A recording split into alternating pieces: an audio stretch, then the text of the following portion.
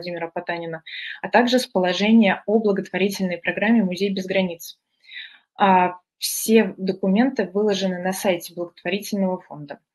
А, так как э, дедлайн подачи э, заявок на конкурс 20 декабря, с одной стороны, э, остается еще чуть больше месяца, и вроде времени у нас достаточно много, но с другой стороны, по итогу как это обычно бывает, времени всегда не хватает, поэтому очень рекомендуем работать над заявкой, начинать уже сейчас. А ваша грантовая заявка – это подробное описание вашего проекта, которое в том числе помогает э, вам структурировать э, ваш проект. А в рамках конкурса «Музей 4.0» э, заявителям необходимо понимать, что они работают в социокультурном поле, рамку которого задает фонд. Эту рамку как раз и необходимо вычитать в документах по конкурсу. А если ваш проект не соответствует философии конкурса об открытости, о повышении социального эффекта, или ваш музей не становится пространством для диалога, а что-то одно, что одно из этого или все из этого, это уже на ваше усмотрение, то шансы получить грант, к сожалению, критически снижаются. Поэтому мы призываем а, и смотреть наши вебинары, и в том числе а, внимательно изучать доку все документы по конкурсу и не бояться, конечно же, экспериментировать. А на экране вы можете увидеть то, как выглядят основные разделы заявки на портале фонда. Обратите внимание, что а, выбрать номинацию вам предстоит в самом начале. А без этого основные поля заявки на портале дальше не открываются. Так, а, давайте рассмотрим общую рамку того, как будет выглядеть ваша работа над заявкой. А, повторюсь, номинации необходимо выбрать уже сейчас. Далее вы работаете, начинаете работу над а, проектной идеей, проводите анализ ситуации, проводите анализ ваших ресурсов и формулируете цель вашего проекта. Цель проекта формулируется в соответствии с той номинацией, которую вы выбрали. А после того, как вы заполните а, все содержательные поля заявки, э, рекомендуем еще раз перечитать вашу а, заявку и еще раз обратиться к принципам и правилам конкурса «Музей 4.0» и посмотреть описание номинаций.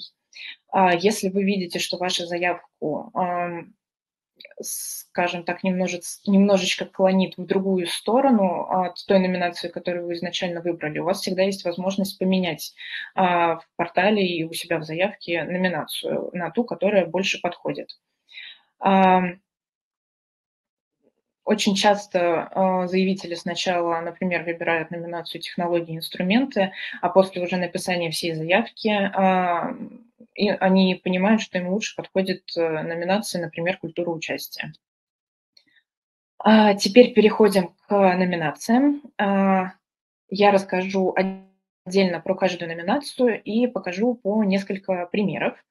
А после каждой номинации я буду делать паузу, и если у вас а, будут вопросы, я постараюсь на них ответить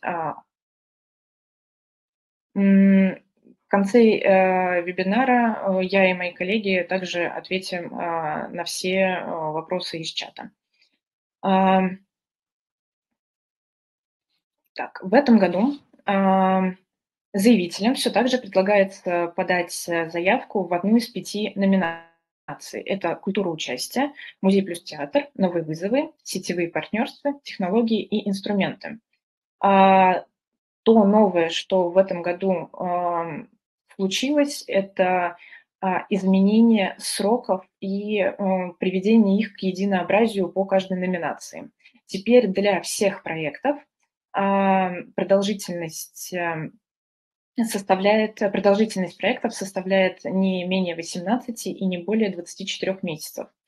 И также максимальный размер гранта для всех номинаций теперь до 5 миллионов рублей. Это та сумма, э, сумма, которую вы можете запрашивать у благотворительного фонда Владимира Потанина. Сам бюджет вашего проекта, конечно, может быть больше. Почему так э, важен выбор номинаций? Чаще всего грань между номинациями достаточно тонкая. Ваши проекты по большей части комплексны. Это может быть выставка, экспозиция, которая тянет за собой а, разные сопроводительные, образовательные, просветительские мероприятия. А, поэтому ваш проект может задействовать как элементы культуры участия, например, а, где ваша аудитория становится равноценным партнером и помогает вам создавать э, ту же самую новую экспозицию, или в ней появляются мероприятия театрального характера, которые вы создаете со своей аудиторией. Еще раз э, повторюсь, что мы рекомендуем начинать а, написание заявки уже сейчас, чтобы понять как раз а, после того, как вы полностью сделаете, составите вашу заявку, понять, куда именно вы больше склоняетесь, куда склоняется больше ваша цель вашего проекта, и как раз грамотно выбрать номинацию. Начнем разбор номинаций, э, начнем наш разбор с номинации «Культура участия». А, на слайде вы видите описание номинации. А, в номинацию «Культура участия» подаются проекты, повышающие открытость а, музеев и развивающие культуру участия. Благодаря этому посетитель становится другом музея и созидательным партнером его деятельности по исследованию, интерпретации и презентации. Очень часто в проектах, э, которые подаются в данную номинацию, а, заявители путают понятие интерактивности и культуры участия. А в музее под интерактивностью принято понимать а, взаимодействие посетителя с экспозицией. Это могут быть какие-нибудь тактильные макеты, или это может быть экскурсия, но обычно это Обычно это с точки зрения психологии, когда посетитель оставляет в себе свои идеи и не а, делится ими, ими, или просто он приходит в музей, а, взаимодействует с экспонатом, с интерактивным а, столом, где представлена информация, и уходит, оставив вот все, все свое в себе. А проекты же в духе культуры участия предполагают, что музей готов отказаться от роли а, эксперта, а, который точно знает, что посетители должны услышать или узнать. И вместо этого музей становится модератором диалога и площадкой, готовой дать возможность разным людям и разным группам сообщества представлять свою позицию – эти люди начинают вносить а, существенный вклад, а музей а, может уже сам становиться участником инициатив э, своей аудитории. Какие это могут быть проекты? Это может быть создание и развитие волонтерских а, программ, организация советов и клубов друзей для долгосрочного развития музея, обеспечение его а, актуальности и финансовой устойчивости. А на слайде я выделила а, самого главного духа, который должен присутствовать а, в этих проектах, это дух культуры участия.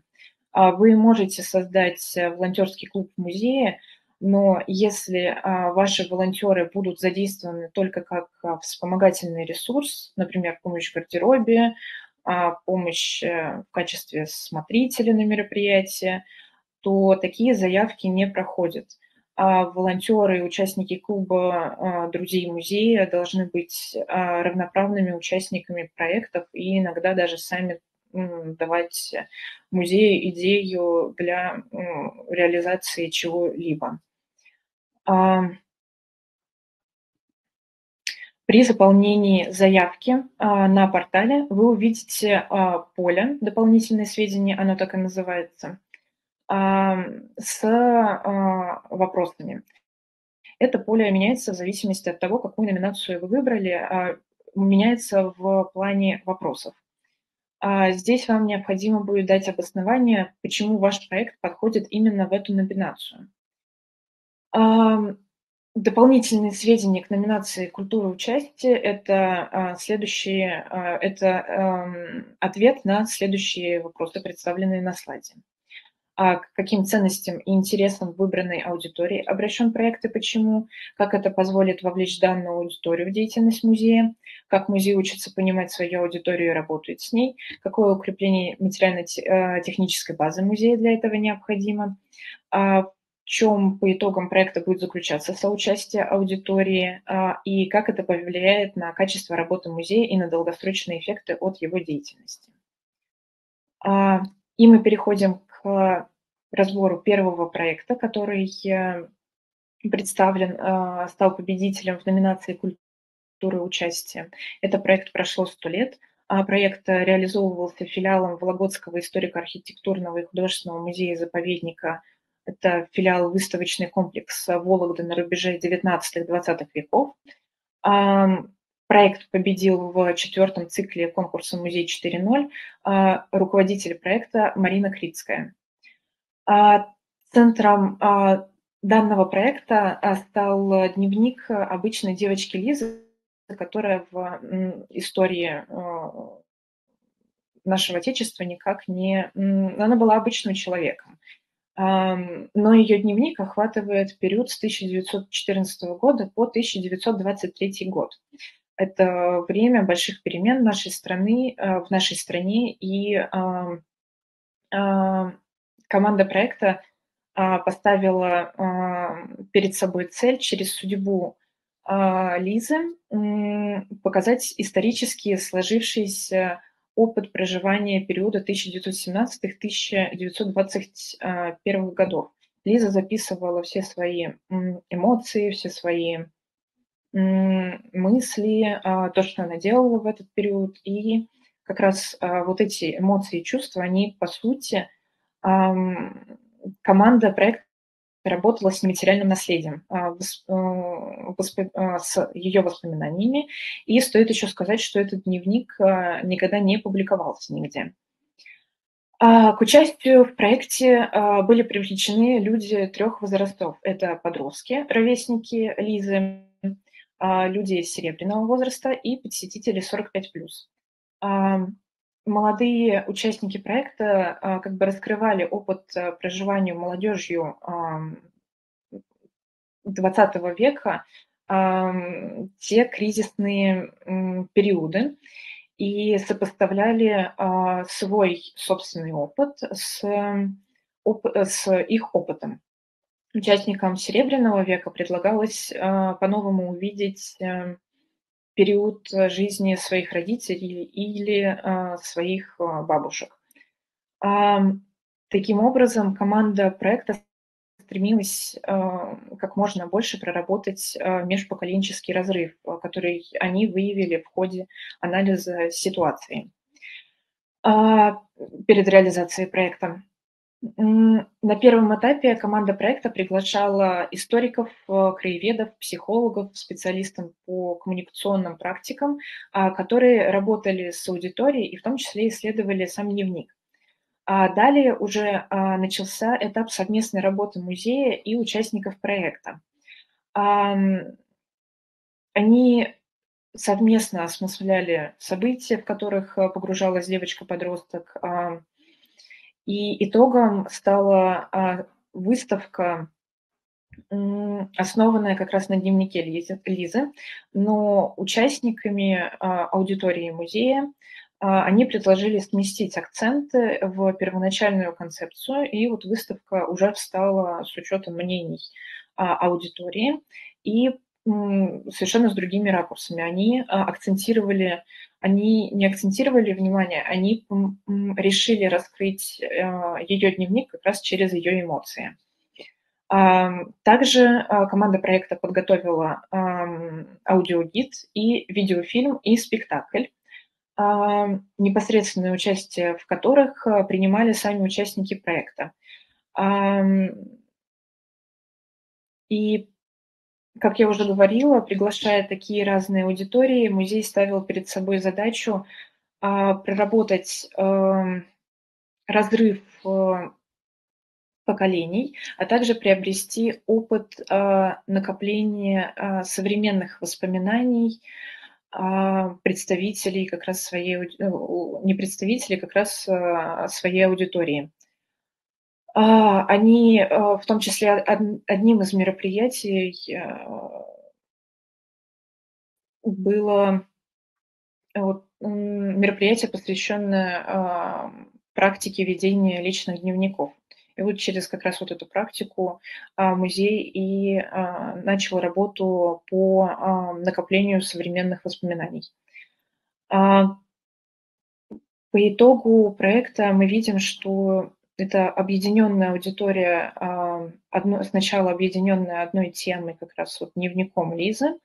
Она стала активным инициатором и из лояльной аудитории перешла как раз в статус э, инициатора а, многих проектов, которые будут реализовываться в будущем.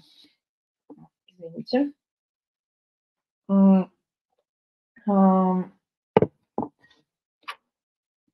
Еще один проект в номинации «Культура участия» А, на связи выставка на базе Комикса, а, фонда исследовательских, культурных, а, просветительских проектов «Будущее время».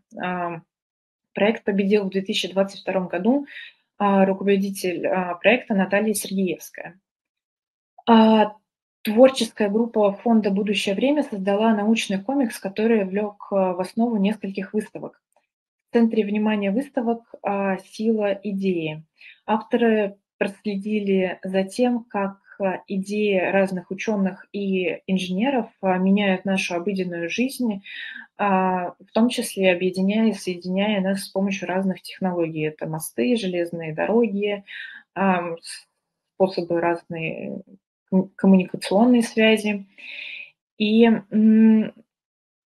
в проекте были э, приглашены несколько музеев-участников, а, и также приглашались и а, музеи приглашали и подростков.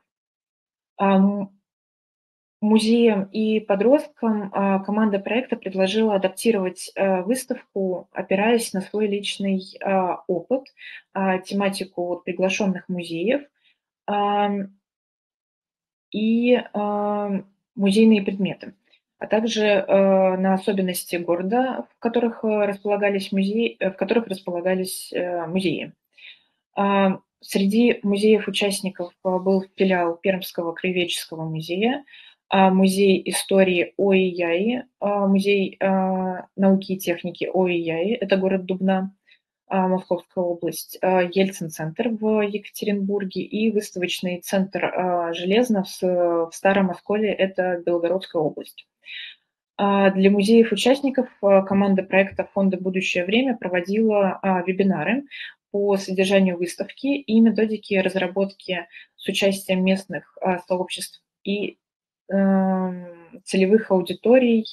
Они проводили вебинары по соучастному проектированию, по методикам работы с подростками и построению образовательных программ на базе выставок.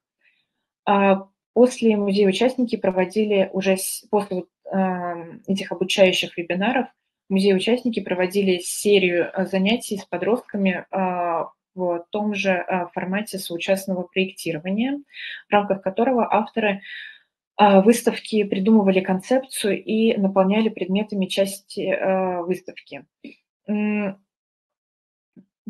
Стоит сказать, что и музеи, и подростки работали с фондовыми коллекциями, и вот такой а, проект, это проект на связи, это проект, когда у нас а, в арифметической прогрессии, а, можно сказать, развиваются а, разные элементы, и каждый элемент работает в духе культуры участия, что фонд исследовательских и культурных просветительских проектов «Будущее время» учил музеи принципам соучастного проектирования, а потом музеи передавали это знание и уже, на, и уже опытным путем совместно с, со своей э, целевой аудиторией, с подростками из тех э, регионов, где как раз располагаются музеи, они а, в том числе уже и делали проекты а, в духе культуры участия. А, И еще раз возвращаемся к номинации, к критериям номинации «Культура участия».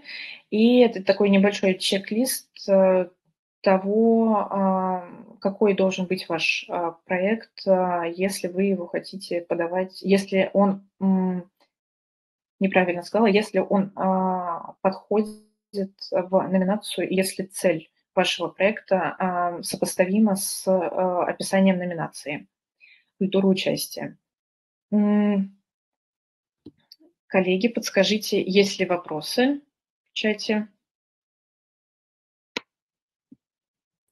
По номинациям пока вопросов нету по, по этим, поэтому там есть общий вопрос, на который в конце ответим. Угу. Так, тогда я а, возвращаюсь к презентации. А, номинация «Музей плюс театр». А, подскажите, переключается? У меня немножечко зависло. Сейчас. Да, все хорошо, переключилась. А, номинация «Музей плюс а, театр» призвана обратить внимание а, музеев и театров, что, используя разные сценические приемы, променады, спектакли, перформансы, эти техники, эти театральные техники, они дают толчок к развитию и помогают актуализировать наше наследие посредством эмоционального влияния на посетителя. А в эту номинацию подходят проекты, связанные с документами, с, а, науч... с результатами научных исследований, когда информация, допустим, у нас э, находится на письменном источнике, и, и все это актуализируется посредством художественной и эмоционально-образной интерпретации музейного предмета. А в таких приемах, а, а, в таких проектах театральные приемы работают на сам музейный предмет, они должны его раскрывать, дополнять и объяснять его, но ни в коем случае не заменять его. В этой номинации, как и во всех других, но и стоит обратить внимание, что в этой номинации музейный предмет, он у нас идет впереди, а театральные средства, они только вспомогательное средство.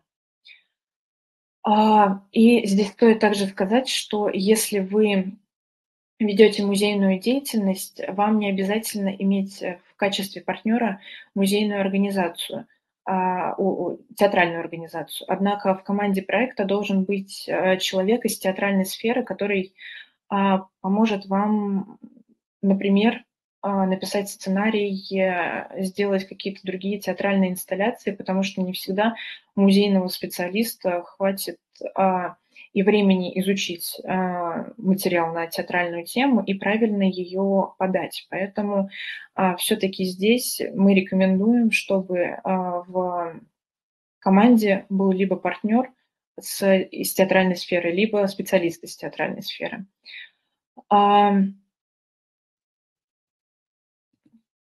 Какие это могут быть а, форматы проектов? Это могут быть проекты по организации музейно-театральных лабораторий, включая их техническое оснащение. Проекты по обновлению программ для посетителей. Это сценические, перформативные практики в музее, экскурсии с театральными э, элементами, интерактивные музейные программы э, и разные другие форматы проектов. Но, например, экскурсии с театральными элементами довольно сильно распространены, поэтому при, во время написания заявки обратите внимание на то, что вы должны будете обосновать экспертам, что нового вы привнесли в ваш проект и чем он будет отличаться от других таких же. Это обязательные, это обязательное условие.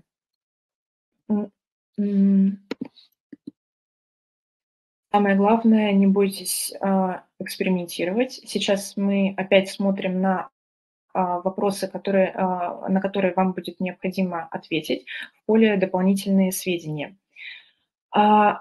Хочу обратить ваше внимание на первые два вопроса. В чем заключается музейно-театральное партнерство в проекте и какие театральные средства и музейные ресурсы будут использованы и почему. Опять же, перед ответом а, на эти два вопроса э, вы можете как ознакомиться со специализированной театральной литературой, так и обратиться к вашему театру-партнеру, а, театральной организации или специалисту из театральной сферы, который поможет корректно составить ответ на данный вопрос. Переходим к разбору описанию проекта. А, проект э, «Ракеты, корабли, люди» а, Государственного музея истории космонавтики имени Циолковского в городе Калуга. Автор проекта Саватеева Марина. Проект стал победителем конкурса в 2022 году, и реализация проекта закончилась осенью этого года премьерным театральным показом. А, показом променада спектаклем. А, проект был вдохновлен идеями Циолковского о космосе и развитии человечества. И команда проекта а, в том числе хотела работать с прилегающей территорией музея, так как многими посетителями после проведенного анализа, запроса, они поняли, что многие посетители не воспринимают эту прилегающую территорию как а, а, то же самое музейное пространство, несмотря на то, что вот на фотографии можно видеть, э, стоят некоторые экспонаты из космической области. Проект был реализован в формате сайт-специфик э, театра. Сайт-специфик театра – это театральная постановка, которая проводится в уникальном месте, а, ранее не приспособленном для театральных целей. А, по сценарию а, зритель – это человек будущего, который попал в наше время и видит окружающую территорию как голограмму, где ему рассказывают историю развития а, космонавтики. А здесь музей использовал способ отстранения человека от реальности, который достигался с помощью театральных а, средств и а, с помощью правильно написанного сценария. И вот это отстранение от реальности, оно помогло музею выйти на рассказ о музейном предмете через чувство человека. Конечно, в сценарии присутствовала присутствовала фактология, а, но сам сценарий в том числе еще писался привлеченным, привлеченной командой из театральной сферы. сферы. Нам иногда очень сложно понять, э, что чувствовали э, люди Советского Союза, когда э, в космос полетел человек, когда а, впервые люди начали выходить в открытый космос. И, возможно, благодаря этому, а, посетив этот променад спектакль, мы с вами сможем погрузиться и почувствовать, э, приблизить наши эмоции к тем, которые испытывали а, советские люди.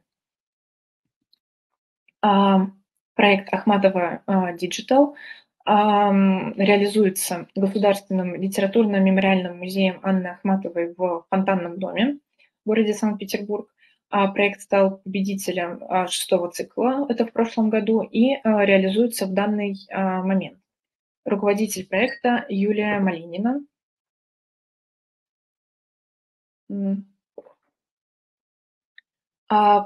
Это проект создания иммерсивного спектакля с дополненной реальностью. Он предполагает создание режиссерской экспликации, сбор фактологического материала на основе коллекции музея Анны Ахматовой фонтанной доме, а также разработку визуальной части спектакля и аудиальной части спектакля, а, запись а, аудио. Также на слайде вы можете видеть, что это и разработка специальной программы дополненной реальности. Перед началом спектакля каждый зритель э, получает планшет и индивидуальные одноразовые наушники и идет в пространство мемориальной квартиры. А, навигация по пространству осуществляется через этот планшет. А, в нем, в нем включается аудио и видеосопровождение. А, актеры читают отрывки стихов, читают отрывки воспоминаний Анны Ахматовой. Также есть музыкально-шумовое сопровождение и видеонавигация. Таким образом, получается, что посетитель, находясь э, среди других посетителей, он имеет возможность сконцентрироваться на материале спектакля, почувствовать камерность, э, интимность разговора именно пространства и посетителя.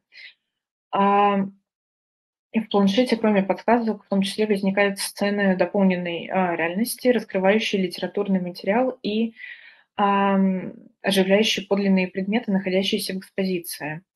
Проект переводит тексты и образы экспозиции на современный посетителю язык, помогая а, в том числе, опять же, установить эмоциональную связь с мемориальным пространством и подлинным предметом. А, так как а, посетитель взаимодействует с мемориальным пространством, мемориальное пространство, как мы знаем а, и на практике наблюдаем, это всегда очень чуткое, крохотное, хрупкое а, пространство, и вот одно неверное наше действие всегда рушит эту мемориальность. Но благодаря грамотно вплетенной, вплетенным технологиям в этот проект зритель том числе взаимодействует с мемориальной квартирой, не разрушая ее первоначального облика, но при этом он может наблюдать за параллельным миром через экран а, устройства, а также взаимодействовать э, с ним при помощи дополненной реальности. А, проект дает возможность театральные средства в планшете а, дают возможность э, зрителю выйти за рамки, в том числе жестких временных ограничений, которыми а, всегда ограничена театральная постановка или спектакль. И в любой удобный момент возвращаться к ним или начинать э, заново прослушивать э, что, какой-то понравившийся эпизод. Также здесь стоит отметить и, и вспомнить э, стратегию музея Анны Ахматовой, где музей э, заявляет о, э, о том, что постоянно наход, находится в поиске новых форм экспозиционных приемов и разрабатывает для себя новые актуальные э, взаимодействия с музеем.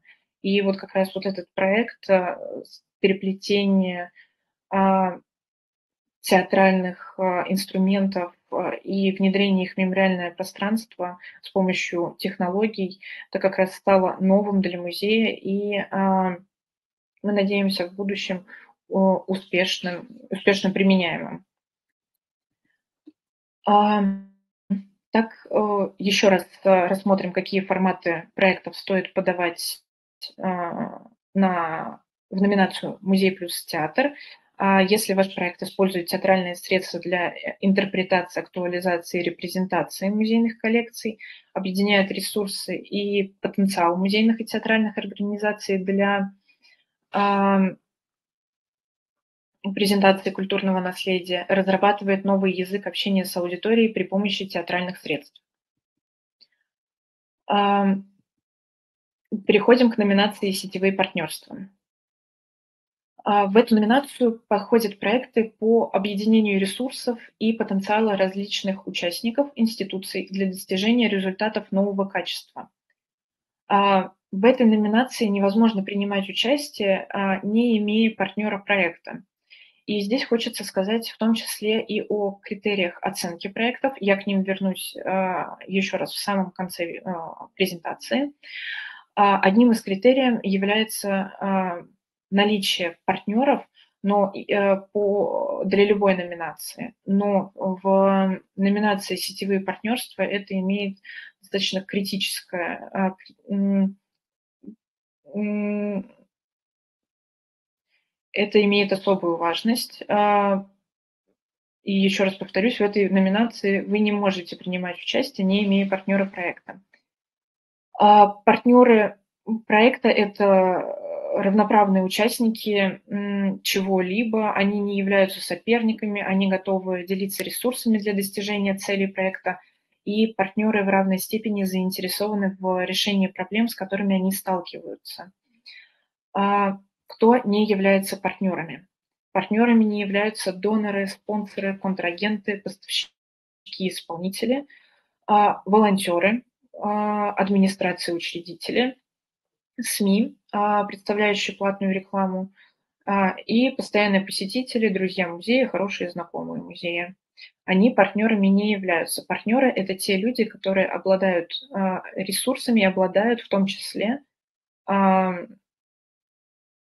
одинаковыми, одинаковым с вами желанием работать над, одной, над решением одной определенной проблемы. А, форматы проектов, которые могут подаваться в данную номинацию. Это могут быть а, проекты межмузейного, межсекторного и а, межрегионального диалога. Проекты, которые вы можете... Это проекты, которые вы не можете, опять же, реализовывать без определенного партнера. Это могут быть передвижные обменные выставочные проекты, лекции, просветительские программы. Сюда же, в эту же номинацию, вы можете подавать э, конференции, форумы и фестивали. Однако, возвращаю вас к тому, с чего мы начали, что все эти проекты должны соответствовать а, специфике а, программы «Музей без границ» и положениям а, принципов конкурса «Музей 4.0» об открытости, о работе с аудиториями, о повышении социального эффекта от реализации проектов.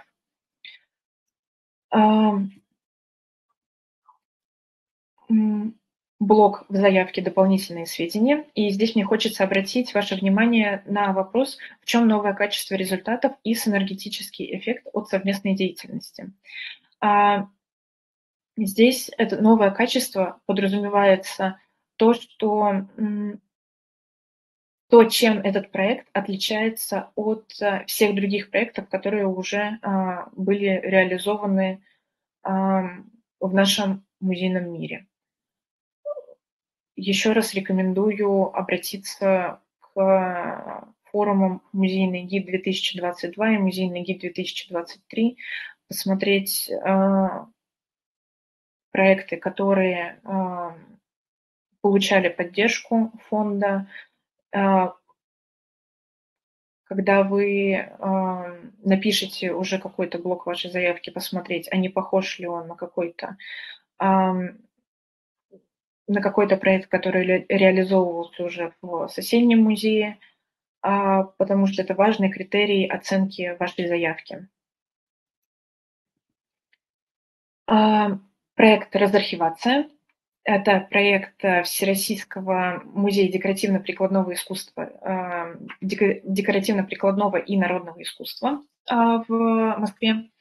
А проект, победивший в прошлом цикле и реализующийся в настоящий момент. А руководитель проекта Ирина Шалугина. А проект междисциплинарный и направлен на создание а, платформы для развития исследовательских и творческих а, кросс-культурных коллабораций по актуализации а, наследия декоративно-прикладного искусства в образовании и в творческих практиках.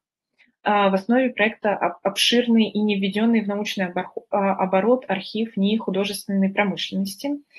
Этот институт на протяжении 60 лет являлся методическим Центром развития художественной промышленности СССР, поддерживал традиционные народные художественные промыслы, разрабатывал методики и технологии их актуализации, а также заложил основу отечественного дизайна.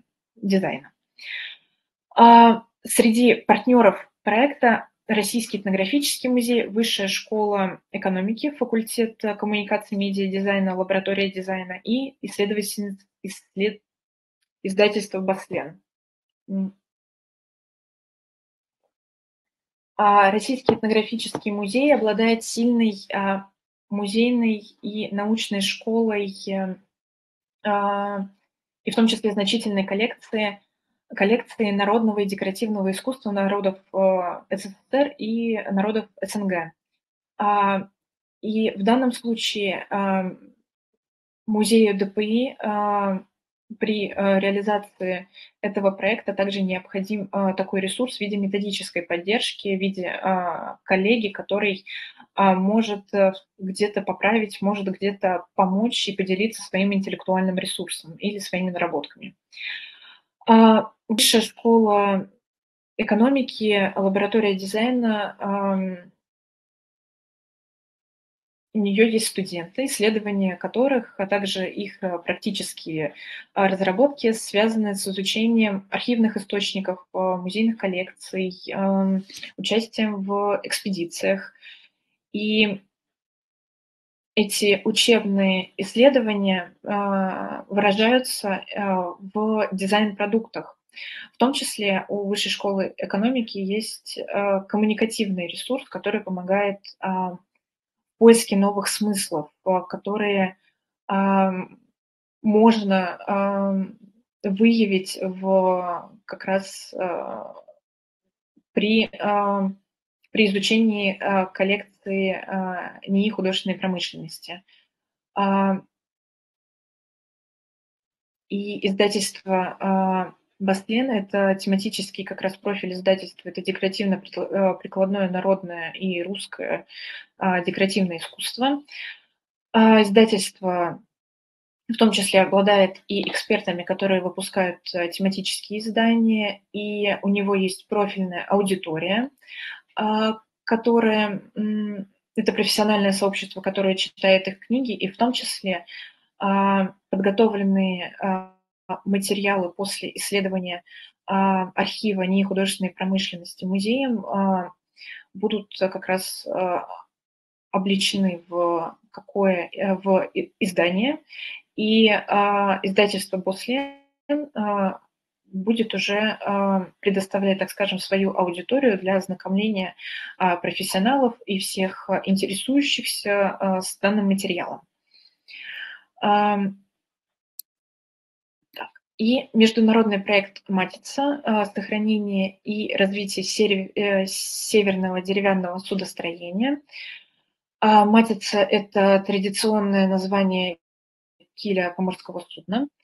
И а, здесь э, необходимо сказать, что проект реализовывался Северным морским музеем в городе Архангельск.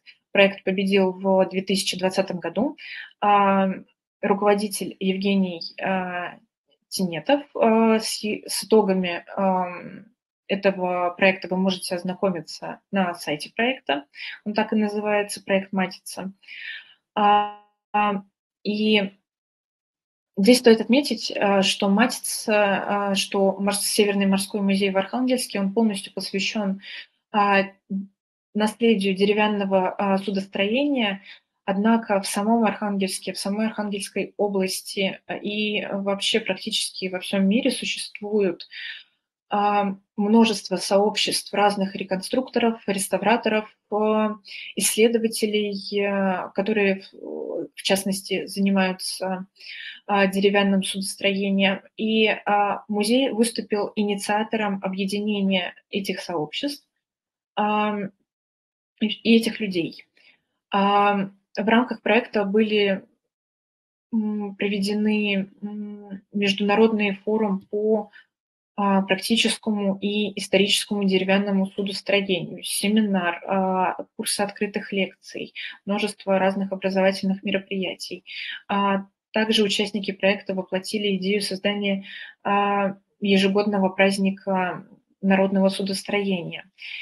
И несмотря на то, что музей, по сути, стал лидером в этом объединении, он не перетягивал, не перетягивал всю инициативу лидерства на себя, а предлагал а, этим разным сообществам делиться своими интеллектуальными ресурсами, а, практиками реконструкции, практиками реставраций, а, и, по сути, а, объединил все вот это большое и, и очень разрозненное а, сообщество любителей деревянного судостроения а, в огромную профессиональную сеть. И проект э, стал международным, потому что в нем в том числе приняли участие профессионалы из Норвегии, США, Финляндии, Швеции. И стоит еще раз сказать, что а, проект разархивации, что проект а, Матица, они а, укрепляли статус музея как а, центра межсекторного диалога и способствовали решению а, актуальной задачи, а, которая стояла а, перед ними. В одном случае это было исследование еще не исследование забытой коллекции, а не народной промышленности. В другом случае это, было, а, это был поиск а, а, тех людей, тех частичек, тех людей, которые обладали информацией для как раз создания общего знания. И мы возвращаемся к нашему небольшому чек-листу. Сетевые партнерства а, для вас, если а, ваш проект объединяет ресурсы и потенциал различных участников для достижения результатов нового качества, а, то есть новых идей, проектов в вашей сфере, укрепляет статус музеев как центров музейного, межсекторного, межрегионального диалога и запускает межмузейные инициативы межмуниципального и межрегионального масштаба. А, переходим к номинации «Технологии и инструменты». Музейные, здесь подразумевается, что музейные технологии – это а, совокупность ресурсов, методов, стратегий и профессиональных действий, позволяющих музею выполнить а, социальные функции музея, как говорит нам музейная энциклопедия. В данной номинации это не современные технологии, то есть это не современные технические средства, как, например, а, мультимедиа-экраны, а, инсталляции разные цифровые. И в данной номинации музею необходимо а, показать новые способы музейного, показа музейного предмета, новые способы раскрытия той темы, с которой они работают возможно использование междисциплинарного подхода, когда музей использует знания и технологии а, показа из других а, наук, например, лингвистики, а, истории, физики, химии и так далее. Важно помнить, что в данной номинации технологии, что та технология и те ресурсы, которые вы собираетесь а, применять, оправданы по отношению к тому музейному предмету, с которым а, вы работаете. А, то есть они не должны опять, как в номинации «Музей плюс театр», они не должны быть ведущими, они должны быть только вспомогательными для раскрытия музейного предмета все э, дополнительные сведения э, на слайде вы можете видеть вопросы и все выбранные технологии и э, должны быть, э, как я уже сказала, оптимальны э, для того запроса, для той цели, которую вы э, формируете в своей заявке. Э, необходимо обосновать, почему сам предмет требует такого нового использования новых для вас технологий. И помнить, что вот эта технология, вот этот способ показа музейного предмета, э, способ раскрытия э, темы, он должен быть э, тиражируем. То есть другие музеи, он может быть полезен как для других музеев, также эта технология может быть и в том числе применима в других музеях. И здесь мне хочется рассказать вам о проекте «Следи за языком», а, проект а, музе... Ярославского государственного историко-архитектурного и художественного музея-заповедника. А, проект стал победителем третьего цикла, это 2020 год, а руководитель Юлия Ушакова. А, этот проект – это выставка, которая открылась в 2021 году. Организаторы ставили перед собой задачу сделать язык а, объектом экспозиции, а, показать его в историческом разрезе и показать весь его колорит.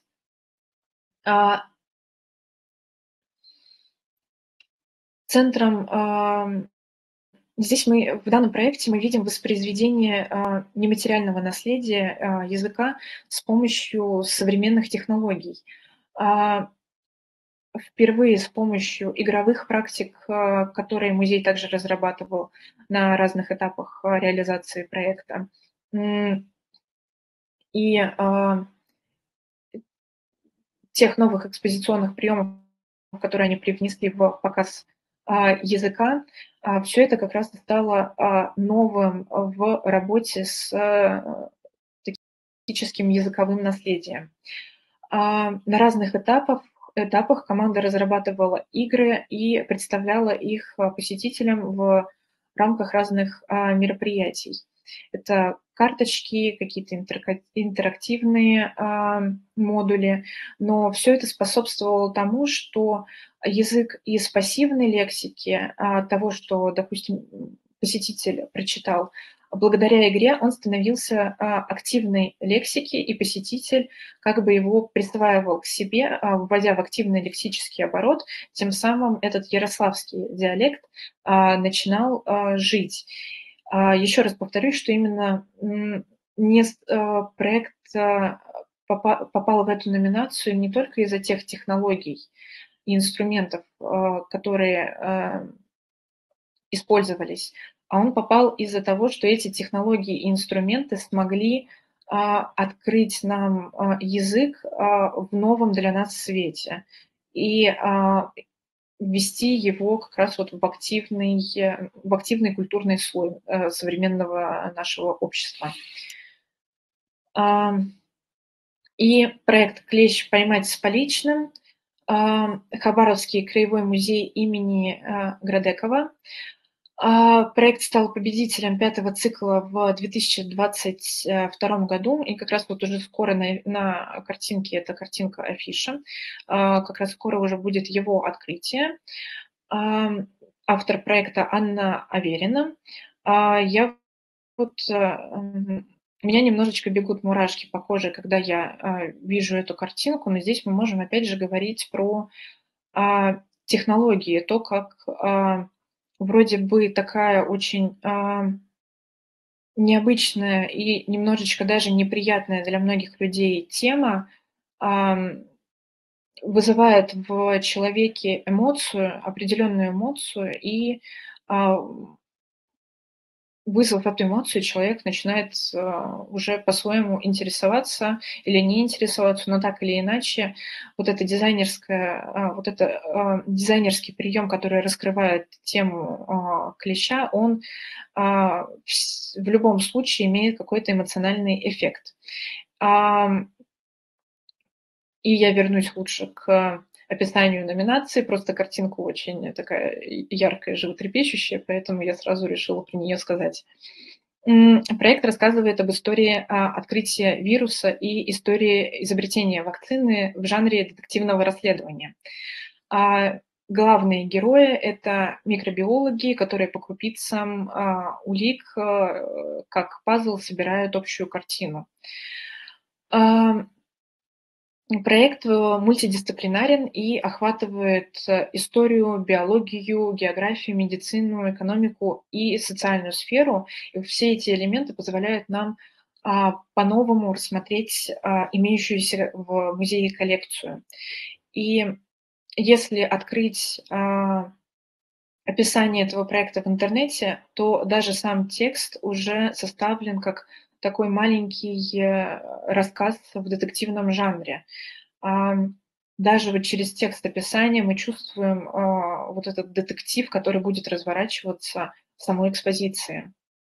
В рамках а, гранта было проведено исследование истории изучения а, клещевого энцефалита на территории Хабаровского края поднимались архивные материалы 30-70-х годов, а также материалы полевых а, сборов.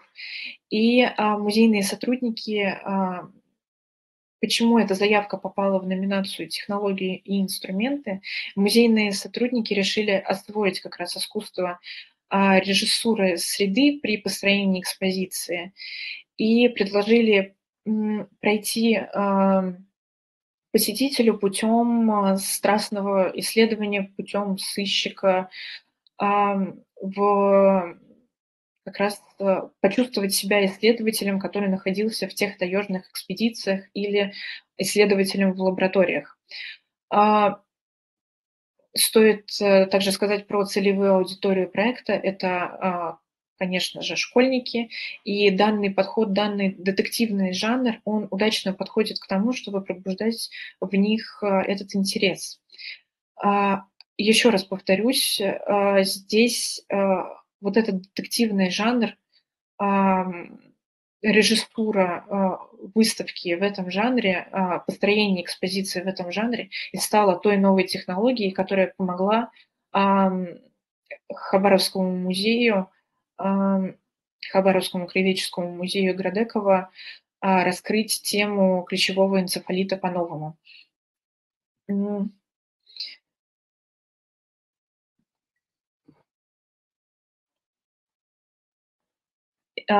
Также стоит обратить внимание, что музейные технологии и инструменты а, могут заключаться не только в экспозиционном языке или выставках, а, но, как я уже отметила, и в дизайнерских приемах с афишей, но также и в образовательных практиках.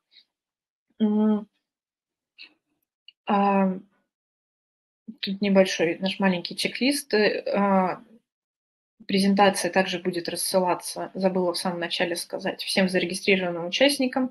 И при подготовке вашей заявки вы можете а, сверяться с а, вашу заявку с данными подсказками.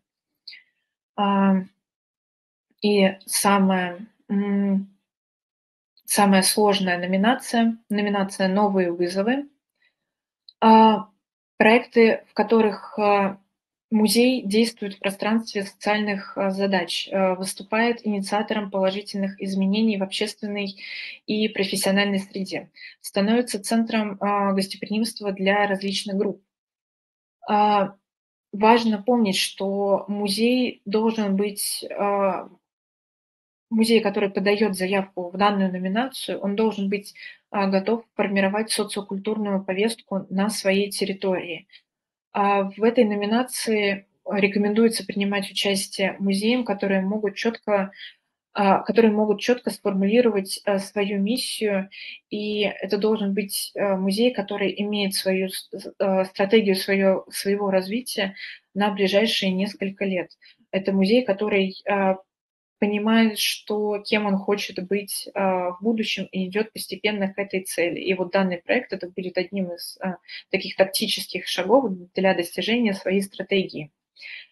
А также подразумевается, что музей э, должен стать лидером в проблемном поле, в котором он работает. Например, с точки зрения вызовов в профессиональной э, музейной сфере или в социальной сфере какие-то социальные проблемы, а, с которыми музей а, он считает, что он может быть лидером. И вот это социальные вызовы на территории присутствия музея. Музей должен четко осознавать свои ресурсы, которые необходимо будет задействовать для решения поставленных задач. Без этого понимания проект в данной номинации будет очень сложно реализовывать. А какие проекты можно реализовывать в данной номинации? Это проекты, формулирующие актуальные социально значимые задачи, а проекты преобразования моделей а, работы музеев и развития музейных профессий в соответствии с требованием времени. Это включение музея в развитие туристического потенциала территории, территории культурного лидерства, меценатства – участие в социальной а, адаптации различных общественных групп для улучшения качества их жизни и раскрытия их социального творческого потенциала. Здесь а, необходимо сказать о том, что это также могут быть проекты, которые направлены не только вовне, не только в социокультурную среду, но и вовнутрь музея. То есть это проекты, которые без перестроения уже существующей структуры музея он не сможет решить социальные задачи, которые предлагает решать ему общество или которые он хочет решать сам или ему необходимо их решать. И снова мы обращаемся к а, вопросам, на которые необходимо будет заполнить, на которые необходимо будет ответить при а, заполнении заявки на портале фонда. Здесь э, хочется сказать, что это вообще не вопросы, не только формальное обоснование, а почему вы подаете данную номинацию, но и такая некая помощь для вас. Чем честнее вы ответите на данные вопросы, а, тем проще будет вам а, самим понять, подходите ли вы к данной номинации, а также провести даже дополнительную оценку и анализ ваших ресурсов проблемного поля, с которым вы собираетесь работать. И переходим к проектам. А, проект «Порядок из э, хаоса» Пермской, э, Пермского краеведческого музея. А, проект победил в конкурсе в 2020 году а, руководитель Сергей Островский. И «Порядок из хаоса» – это проект, э, направленный на исследование а, музейной аудитории и поиск кросс-маркетинговых моделей обмена аудиториями между филиалами музея. В рамках проекта прошли исследования, благодаря которым пермские музеи и другие учреждения культуры получили портретную галерею своей аудитории. Вот как раз на фотографии это слайд из... Это, это картинка одного из портретов, которые были выявлены в ходе исследования, портретов аудитории Пермского краеведческого музея. И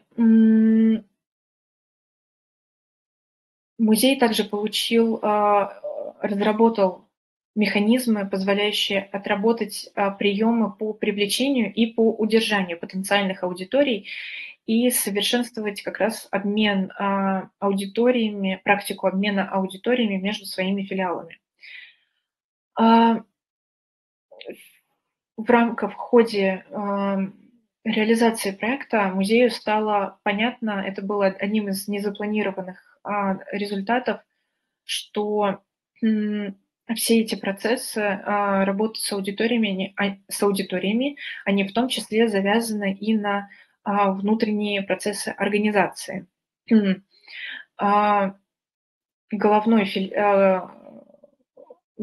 головной музей начал работать с мотивацией филиалов, с мотивацией сотрудников, сотрудников в данном в его филиалах а, работать, а, проводить обучение по, по сервису и гостеприимству для сотрудников охраны, для сотрудников кассы, для гардероба и для других сотрудников, которые являются первой линией, то есть непосредственно связаны с работой с посетителем. Проект, результаты проекта опубликованы на сайте Пермской, Пермского краеведческого музея. А, с ними можно ознакомиться. И также стоит а, сказать, что этот, э, результаты этого исследования, они стали компасом для музеев э, с а, широкой сетью филиалов. Команда смогла создать как раз вот эту систему, где филиал, где филиал становится как целой единицей, но в том числе он и не выпадает из общего брендбука и даже имеет свою идентичность, и даже у него появилась своя идентичность. Также в, в этом исследовании показано, как краеведческому музею, как а, отдельному профилю музеев, как краеведческий музей может э, проводить а, вообще исследование аудитории. И он стал таким, как я уже сказала, действительно подспорьем в а, этой сфере для краеведческих музеев с развитой э, филиальной сетью. Здесь Пермский краеведческий музей выходил, работал с,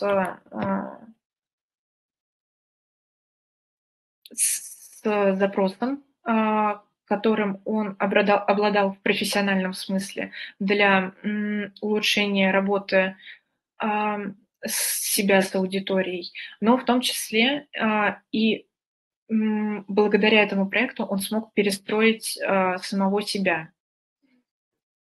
Поэтому он и является отличным примером того, как номинация, какие проекты подаются в номинацию «Новые вызовы». Проект «Только не я» а, проект для подростков, а, столкнувшихся с опытом травли. А, проект реализовывался в Государственном музее истории российской литературы имени Даля в Москве. Проект был победителем цикла 2019 года, руководитель проекта Ксения Белькевич. Проект представлял возможность э, подросткам, родителям и учителям увидеть э, проблему травли с разных сторон и вместе нащупать способы ее решения. Участники узнали э, о возможных путях профилактики буллинга, познакомились с полезными психологическими и юридическими программами, потому что музей привлекал специальных психологов, консультантов к данной работе. Также Аудитории музей помог осмыслить свой опыт э, с помощью текстов, перформансов, э, выставочных а, проектов. А также в, сопроводительные мероприятия к этому проекту было очень много театральных постановок, но в 2019 году не было еще номинации «Новые вызовы», и на тот момент а, музей впервые работал с, как с этой остро социальной темой буллинга, а, так и впервые для себя применял а, театральные технологии. А, в рамках проекта было три направления. Это книжный клуб для подростков, где участники читали, обсуждали книги, связанные с темой взросления, ностальгии по детству, принятия себя и о музыке в том числе. После занятий каждый а, участник заполнял свой а, рукописный журнал о мыслях и об, а, об образах, связанных со своими переживаниями, с темой буллинга или с тем, что он услышал на занятиях. Проводились выездные сессии в школах и арт-мастерские. В арт-мастерских подростки разработали выставку и и написали пьесу. А, на выставке были представлены объекты, э, музейные предметы из фондов э, литературного музея Даля, которые так или иначе, по мнению а, подростков, были связаны с темой а, буллинга. И во время театральных постановок все эти театральные постановки также сопровождались психологом, и так как и вот с помощью театральных постановок музей как раз и работал с эмоциями, которые необходимо было прорабатывать а, подрост... вместе с подростками, когда а, музей говорил о теме а, буллинга. Проект «Почему новые вызовы?» Потому что проект выводил музей из зоны комфорта и сам выводил сам музей из зоны комфорта и становился проводником а, в диалог с посетителями на тему травли. А, помимо этого, музей в том числе и был сам а, участником данного диалога, в котором подростки могли доверить свои страхи, переживания команде проекта. А команда проекта создавала творческую, в том числе психологически комфортную среду для а, снятия напряжения, агрессии и помощи выхода из изоляции. А, и он стал таким, в том числе для подростков, терапевтическим. И Следующий проект – это проект «Средиземье. Картина мира и карта местности». Проект реализуется Иркутской областной государственной универсальной научной библиотекой имени Молчанова-Сибирского. Проект победил в шестом цикле конкурса в 2022 году. Автор проекта Сулейманова Лариса. Целью проекта стояло опробировать новые формы интерпретации краеведческих знаний посредством работы с вычленением этого, этого краеведческих знаний из литературы и эпоса. С одной стороны, это история про то, что библиотека применяет музейные средства и, по сути, выходит из своего, из своего, из своей зоны комфорта. С другой стороны, это история про то, как а, библиотека а, работает э, с содержанием а, книг, с местным эпосом, и через этот эпос и через это литературное наследие работает, э, выстраивает разговор с, о локальной идентичности. Команда проекта поставила перед собой задачу а, картировать разные сообщества, которые находятся в Иркутске, а, городские сообщества, а, и как раз объединить их под одной э, литературной э, тематикой, объединить их в разговоре об этой литера... о литературе. Команда в настоящий момент э, проект реализуется, команда проводит э, картирование городских э, сообществ, выясняет, кто эти люди, создает портреты этих людей и, как я уже сказала, работает в направлении объединения этих сообществ.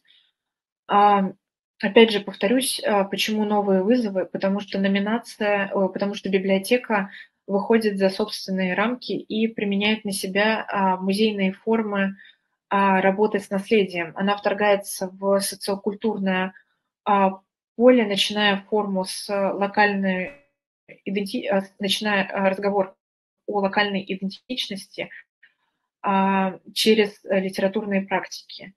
Одним из социальных вызовов, который, который библиотека пытается решить, это как раз разговор о, о только начале формирования а, этой локальной идентичности.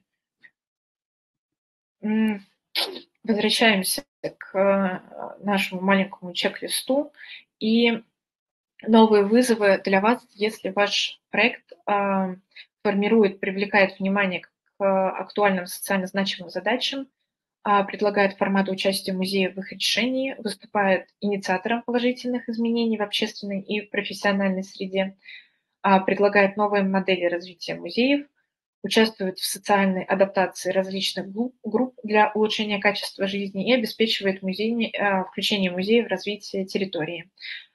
Еще раз хочется напомнить вам о прекрасном ресурсе, где можно посмотреть все описание всех проектов.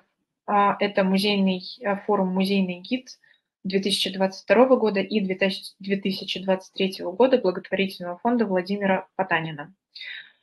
А, также а, в завершении хочется обратить внимание на критерии оценки проектов.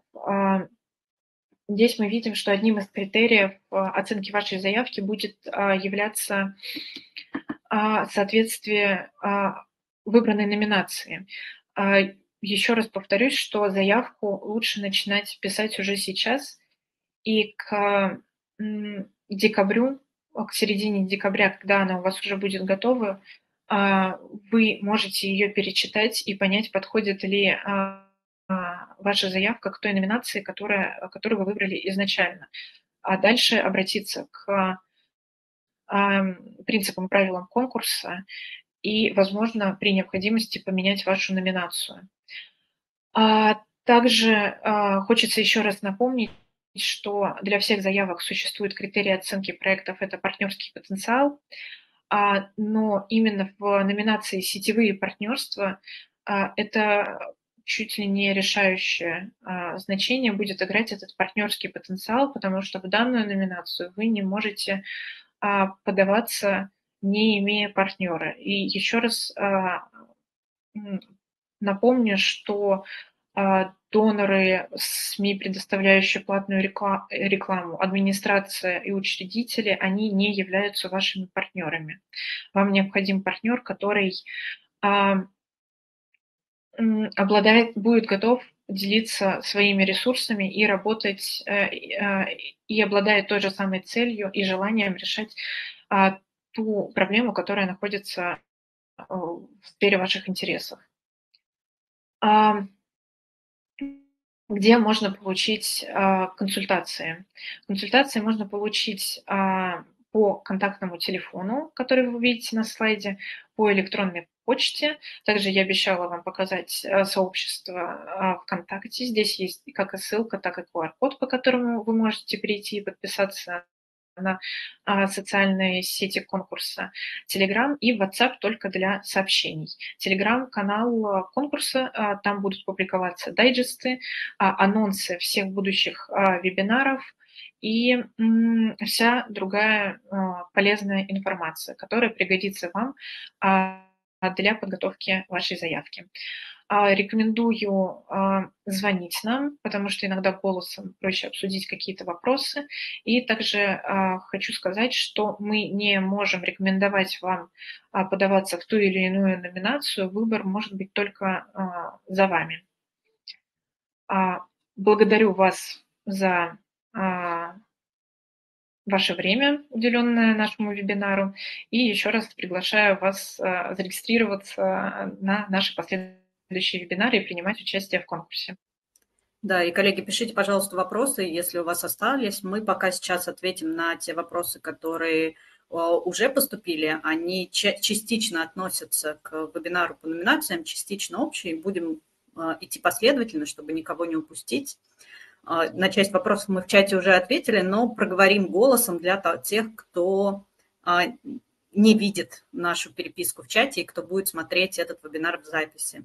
Скажите, пожалуйста, в софинансирование можно включать деятельность партнеров, монетизация работ, или софинансирование – это только прямое финансовое вложение?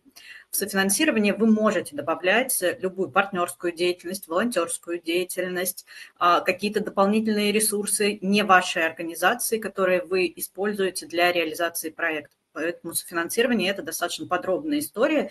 И более подробно про софинансирование мы тоже поговорим на практике, э, на практикуме про бюджет. И там вы сможете тоже и свои точечные вопросы какие-то задать, и мы разберем какие-то более конкретные э, ситуации.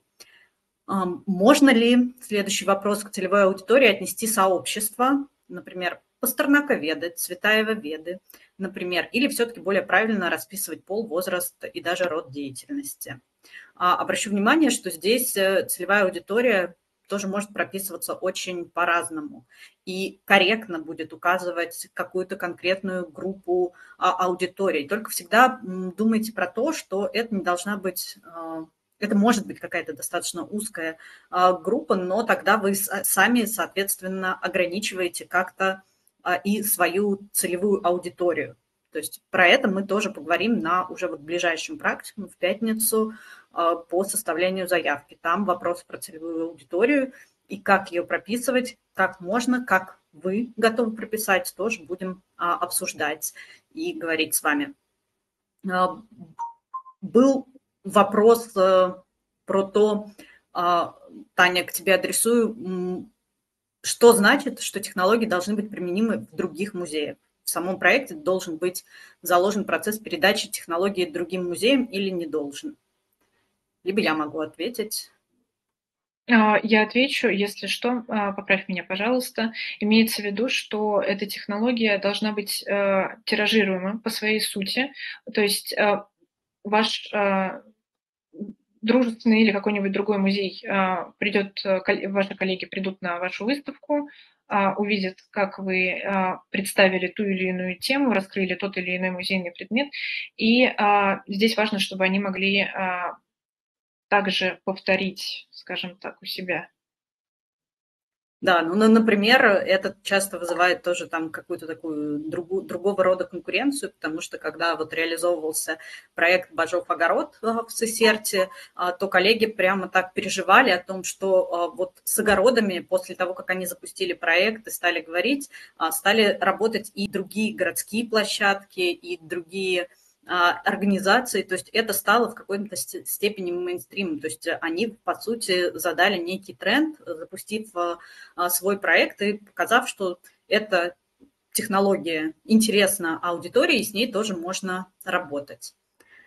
Может ли библиотечная система принять участие в конкурсе с созданием экспозиции а, для краеведческого отдела библиотеки? Здесь нужно обязательно смотреть устав вашей организации. Если в уставе библиотеки есть деятельность по сохранению культурного наследия или музейная деятельность, или в структуре вашей организации есть а, музей как структурное подразделение, в этом случае библиотека может принимать участие в конкурсе.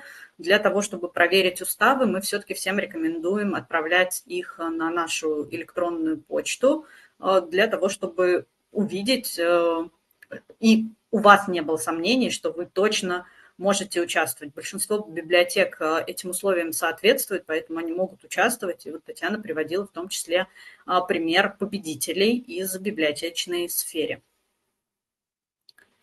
А, тоже вопрос по тому, кто может участвовать, может ли принять участие в конкурсе музей 4.0 вуз с музеем, которого пока не существует. Есть команда, желание его создания и понимание, что он из себя должен представлять, из чего будет составлять, а, какие технологии, какие аудитории может объединить на своей базе, а, в чем будет э, полезен территории. То есть э, здесь вопрос про, я так понимаю, чисто возможность участия. Если в уставе, опять-таки вуза, есть музейная деятельность или деятельность по сохранению культурного наследия, а, или у вас есть положение о музее, возможно, другом музее, который будет выступать э, таким э, организацией заявителей, то есть корневой структурой, то есть пока есть другой музей, но нету того нового, который вы хотите создать.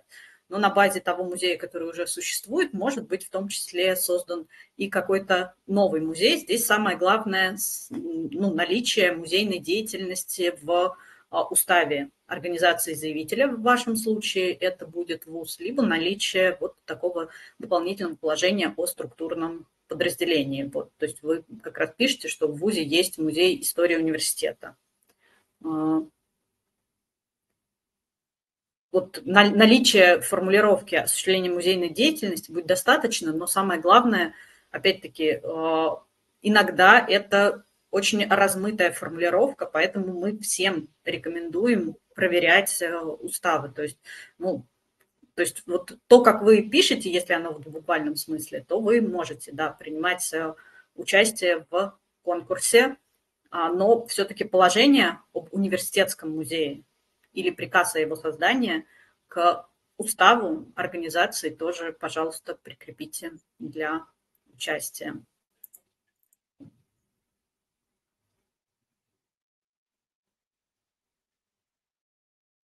Есть еще вопрос э, про образовательную школу. Может ли она принять участие в конкурсе? На базе школы есть зарегистрированный историко-краеведческий музей. Соответственно, вы к заявке прикладываете устав школы и совместно с уставом, объединенный один PDF-файл, прикладываете э, положение о вот этом вашем зарегистрированном музее или приказ о его создании. Коллеги, есть ли у вас еще вопросы непосредственно по выбору номинаций? Может быть, важно что-то еще обсудить? Потому что выбор номинации – это на самом деле достаточно такая принципиальная история. От выбора номинации, как сказала Татьяна, будет зависеть дальше, в том числе, что вы пишете внутри заявки. Отлично, что вебинар был понятный. Спасибо всем большое за участие. Спасибо большое. И также не забывайте принимать участие в наших следующих вебинарах.